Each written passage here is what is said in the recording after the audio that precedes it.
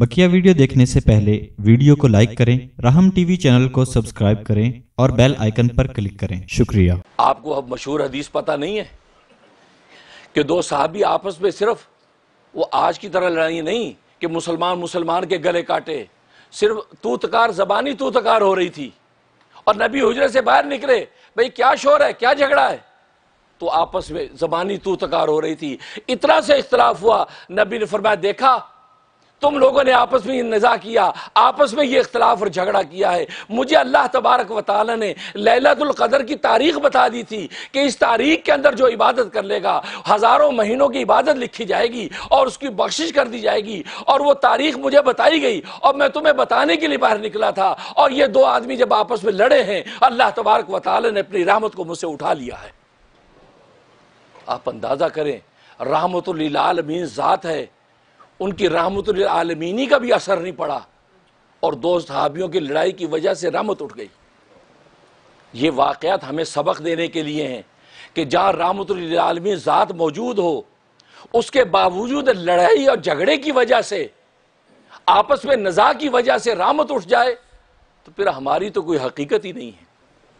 بس یہ آپ اندازہ لگا لیجیے۔ تو دیکھیے یہ لڑائی اور جھگڑا، اور آج مسلمان امت، پوری مسلمان امت اپنا جائزہ لے لے۔ کون کس سے جھگڑتا نہیں ہے، کون کس سے لڑتا نہیں ہے۔ مسلمان ملکوں کی سطح پہ لیکھ لیں، انفرادی سطح پہ دیکھ لیں۔ آپ آپس میں، اس وقت جو لوگ بیٹھے ہیں، یہ آپس میں بیٹھ کر ایک دوسرے کے بارے میں سوچ لیں۔ تو کسی کا، کسی کے بارے میں کوئی نرم گوشہ نہیں ہے۔ کسی کی لیے، کسی کی محبت نہیں ہے۔ کسی کی، کسی کے میں دل میں الفت نہیں ہے۔ بس اپنے من میں ڈوبا ہوا ہے۔ اپنی اپنی کھال کے کے اندر خوش ہے، ساتھ والے کی کیا حقیقت ہم نہیں جانے ہو کیئر یہ ہماری زندگی بن گئی ہے۔ تو پھر یاد رکھو، اس تنازع اور اختلاع کے وقت میں اللہ کی رحمت نہیں آنے والی۔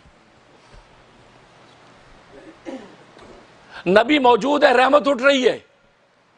غزوہ عہد کا موقع ہے، غزوہ عہد غزوہ ہے جس میں نبی خود بنفس نفسی موجود ہے، اسلحہ پہن کر میدان جنگ میں موجود ہیں۔ نبی نے پہاڑی پہ بیٹھنے والوں سے کہا کہ دیکھو اگر ہم جنگ ہار بھی گئے اور ہمارے جسم کے ٹکڑے پرندے نوچ نوچ کے بھی لے جا رہے ہوں، لیکن تم نے پہاڑی کی جگہ چھوڑنی نہیں ہے۔ تم یہیں بیٹھ۔ پچاس پچپن لوگوں کو آپ نے وہاں بٹھا دیا اور ایک صحابی کو امیر بنا دیا۔ تم نے یہ جگہ نہیں چھوڑنی، کیونکہ نبی جانتا ہے۔ نبی کی نبوت کی بصیرت بتاتی ہے، یہ جو جگہ ہے، اگر یہ درہ انہوں چھوڑا تو مارے جائیں گے۔ اور فرمایا کہ ہمیں بھلے شکست ہو یا فتح ہو، تم نے جگہ نہیں چھوڑنی۔ آپ نے حدیثوں میں دیکھا، فتح ہو گئی۔ ایسی زوردار فتح ہوئی، ایسی فتح بدر کے اندر بھی نظر نہیں آتی۔ ان صحابہ میں اختلاف ہو گیا۔ چند صحابہ اترے، وہ بھاگے بھی اب تو فتح ہو گیا اب کیا ضرورت ہے؟ چلو نیچے۔ امیر کہنے لگے، نہیں نہیں نہیں، دیکھو، نبی نے کہا تھا، کسی حال میں ہمیں نہیں چھوڑنا۔ بھلے فرمایا، نبی نے کہ ہمارے گوشت گوشت کو جو پرندے نوچ کے لے جا رہے ہوں۔ ہماری شکست ہو جائے ہمارے جسم کے ٹکڑے ٹکڑے ہو جائے، لیکن تم نے یہ درہ نہیں چھوڑنا۔ وہ کہا، نہیں جی نہیں، اس کا مقصد یہ تھا کہ فتح ہو گئی تو اب کیا بیٹھنے کی ضرورت ہے؟ دیکھو مال غنیمت جا کے حاصل کرتے اللہ کی نعمت۔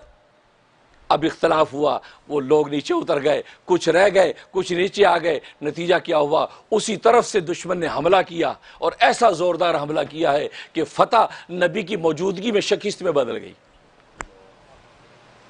تو معلوم ہوا کہ اگر نبی بھی موجود ہے اور پھر اللہ کے قانون یونٹی اتحاد یکجیتی یگانگت جب تک تمہارے اندر نہیں ہوگی، تو اللہ تبارک و تعالیٰ کے رحمت اور فتح آپ کے حصے میں نہیں آنے والی۔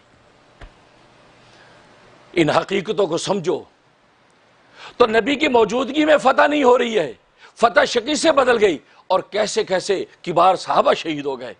خود نبی کریم صلی اللہ علیہ وسلم کی جو حالت تھی، آپ کے اوپر جو ہے ایسا پتھر پھینکا، آپ کے دانت مبارک شہید ہو گئے، آپ کی جو ہے خود کی کڑیاں اندر گھس گئیں۔ جس صحابی نے آپ کے اس خود کی کڑیاں دانتوں سے نکالی ہیں، اس صحابی کے دانت ٹوٹ گئے۔ اس تفصیل میں میں نہیں آتا۔ لیکن میں بتانا یہ چاہتا ہوں، اختلاف اتنی بری چیز ہے، اس اختلاف کی وجہ سے نبی کی موجودگی میں بھی اللہ کی رحمت اور فتح نہیں آتی اور آج اس امت کی جو حالت ہے، آپ اچھی طرح دیکھتے ہیں، امت مسلمہ کتنی متحد ہے، اسلامی ملک آپس میں کتنے متحد ہیں، کون کس کو جانتا ہے، کون کس کو مانتا ہے؟ کون کس کی تکلیف کے لوٹتا ہے؟ آپ اپنی انفرادی زندگی دیکھ رہے ہیں، اپنی خاندانی زندگی دیکھ رہے ہیں، آپ اپنے خاندان میں کتنے یونائٹ ہیں؟ آپ اپنے محلے کو دیکھ رہے ہیں، محلے میں آپ کتنے یونائٹ ہیں؟ آپ اپنے شہر کو دیکھ لیں شہر میں آپ کتنے یونائٹ ہیں؟ آپ اپنے صوبے کو دیکھ لیں اپنی ریاست کو دیکھ لیں اپنے ملک کو دیکھ لیں پوری بین الاقوامی دنیا میں امت مسلموں کو دیکھ لیں یہ امت مسلم آپس میں کتنی یونائٹ ہے نہیں نہیں، ہر آدمی اپنی خال کے اندر خوش ہے، اس دوسرے کے بارے میں سوائے نفرت کے جذبات کے اس کے پاس کچھ نہیں ہے۔